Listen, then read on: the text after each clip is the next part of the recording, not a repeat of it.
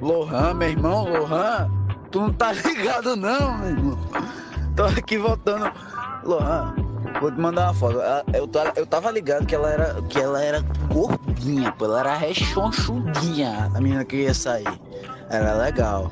Ela era bonita, pô. Fotos tu tinha que ver, ela era bonita. Não, eu vou te mandar. Aí eu, beleza, né? Eu fui lá no, no Dona Lindu, esperando ali no banquinho. Passando um cara de, de menininha bonitinha assim, pô, será que ela não? Pô, será que ela não? Pô, será que ela não? Pô, será que ela...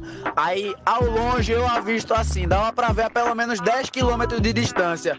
A porra de um Triceratops, bicho, um dinossauro, planeta Júpiter, chegando assim, eu...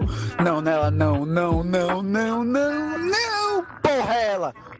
Lohan, eu fiquei umas 4 horas falando com um planeta, meu irmão, a atração maior que eu sentia por ela era gravitacional, meu irmão. Ela era muito